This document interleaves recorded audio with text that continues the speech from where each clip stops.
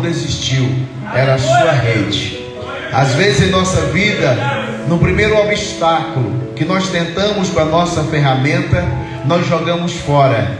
Não deu certo, vou partir para outro tipo de trabalho. Não.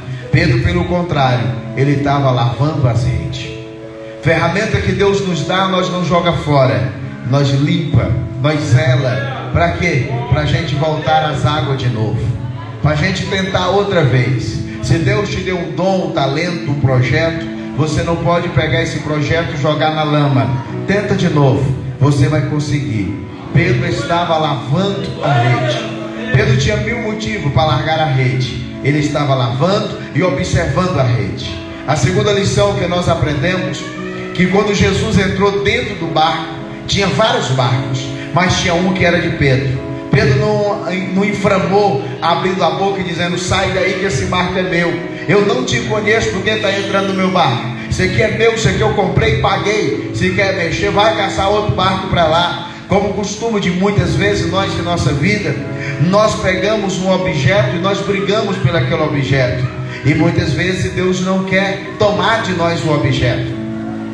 Na verdade, na verdade, Deus nunca vai usar nada nosso que Ele não já nos deu. Eu acho que você não entendeu o que eu quis dizer. Deus nunca vai requerer algo de nós que Ele já não tenha nos dado. Como assim, pastor? Abraão, por exemplo. O que é que Deus pediu para Abraão sacrificar? E quem foi que deu o filho para Abraão? Deus não estava pedindo nada a Abraão que ele não já tinha dado que Ele não já tinha colocado nas mãos.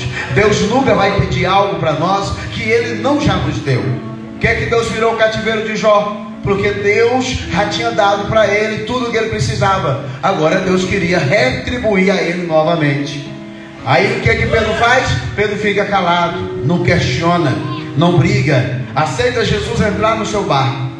E Jesus entrou e ficou pregando em cima do barco de Pedro. E Pedro calado, não questionou. E olha que Pedro não conhecia Jesus ainda. Foi apresentado poucos minutos, poucas horas dali. Alguém já disse que foi o primeiro contato com ele. E agora Jesus vai andar e diz a Pedro: Vamos, vamos dar uma volta. E Pedro caladamente. Quando chega na, no meio das águas, Jesus olha para Pedro e fala assim: Lança a rede. Agora, agora aqui, lança a rede. Pedro só olhou para Jesus e a primeira resposta, a primeira, a primeira palavra que Pedro se expressa pela Bíblia é essa aqui: Senhor, pescamos a noite toda, mas segundo a tua ordem, lançarei a rede. Alguém entendeu, gente? O, o versículo nem tinha terminado, a frase nem tinha terminado. Senhor, pescamos, lançamos a rede a noite toda e não apanhamos nada, mas segundo a tua ordem, lançarei a rede. Sabe o que, é que Jesus está dizendo para nós? A, a outra lição que nós aprendemos com Pedro podemos ter trabalhado, podemos ser profissional em algo que nós façamos, mas quando Jesus manda lançar a rede, a gente tem que deixar de lado as nossas experiências, as nossas ideias, as nossas teorias. Ah, Jesus era um profeta, Pedro era um pescador. Pedro podia dizer de peixe eu entendo. De palavra é contigo, de pregar para a multidão é contigo. Agora de peixe é comigo. Não vou lançar, não. Eu pesquei de noite, aonde estão tá os peixes? E não peguei. Agora vem o Senhor aqui nesse lugarzinho raso, aonde as pessoas ainda banham, dizer para mim lançar a rede. Mas ele abre a boca e fala: segundo a tua ordem, eu lançarei a rede. Jesus está dizendo para alguém aqui hoje: as pessoas podem criticar você de todas as maneiras. Mas quando você for dar uma resposta para a pessoa, olha bem a resposta que você vai dar.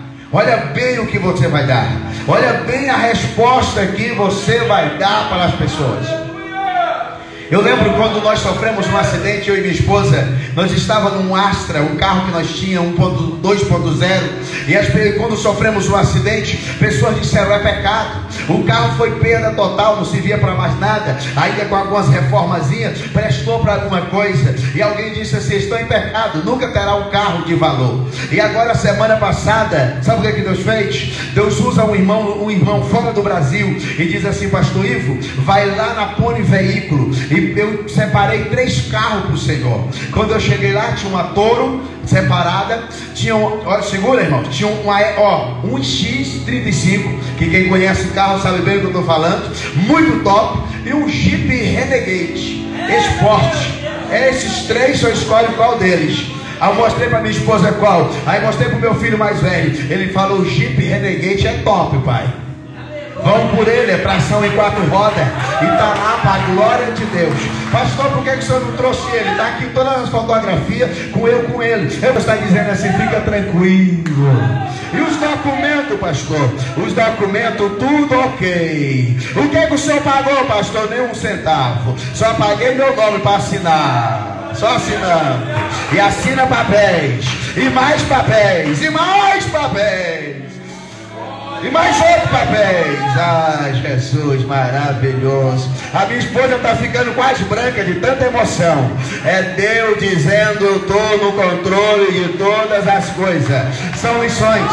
Ei, são lições. Segundo a tua ordem, lançarei a rede. Eu não tenho, mas segundo a tua ordem. Eu sempre dizia para minha esposa: nós precisamos de um carro para andar na roça, no mato. O povo convida muita gente para a roça para pregar. Chega lá, carro fica patinando, carro fica rodando no meio da lama, vira aquela marquinha danada. Aí Deus diz: pega um Jeep Renegade, tração em quatro rodas e vá agora.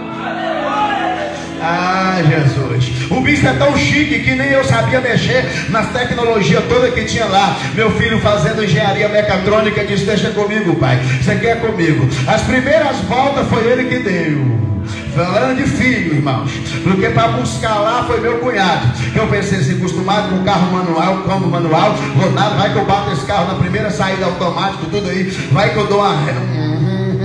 Quando Deus resolve nos abençoar, nós temos que aprender, irmãos. Pastor, por que, que o senhor está contando isso? Porque tem pessoas aqui que ficam brigando por pouca coisa. Jesus, a lição, Jesus entrou no barco, Pedro não falou nada. Jesus mandou lançar a rede, Pedro não questionou, segundo a tua ordem, lançarei a rede. Alamaganda, namarracha. Olebaganda, lamacha. Deus está falando algo aqui para você. Acredita no milagre de Deus. Eu não sei qual a prova que você está passando. Acredita que Deus está trazendo a benção. Está trazendo a benção. Aí eu brinco com a minha esposa. Agora nós vamos agora testar esse carro na roça. E agora no mês de julho nós vamos para o Pará. Vamos testar ele na roça para ver se ele aguenta o arroz.